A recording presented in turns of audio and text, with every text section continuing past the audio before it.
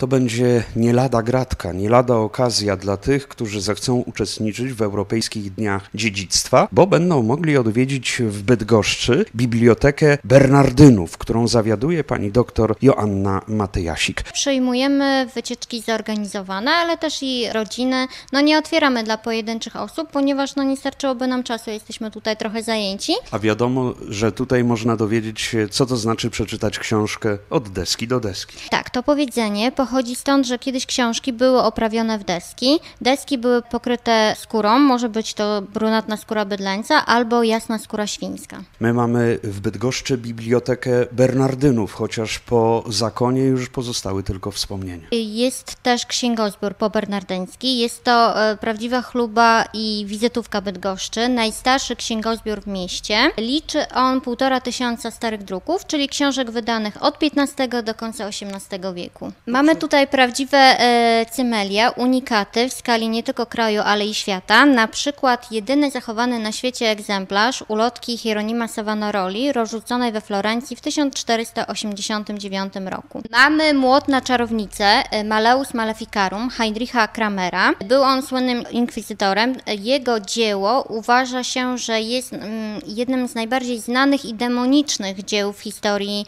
książki. Podobno przyczyniło się do intensyfikacji polowania na czarownicę.